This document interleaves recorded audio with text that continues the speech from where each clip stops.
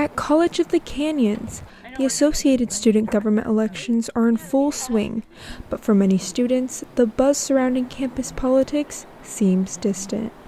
Do you know what ASG is? I do not. With many students juggling their busy schedules, getting involved on campus often takes the back seat. A lot of our students are really busy. They have not only their their classes, but they also have work obligations, family oblig obligations, and other types of things. So their time's a little tight.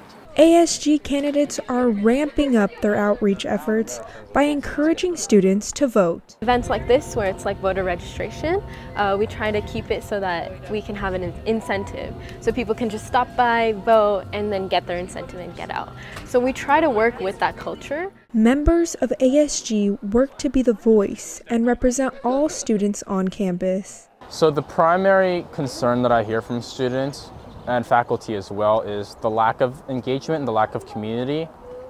And how everyone here kind of shows up and they don't really talk to each other and there's no sense of, of friendliness, there's no sense of, of neighbors rather than strangers. So if there are issues happening on campus, you know, your ASG or your student representative. So um, they bring that student perspective to the administration.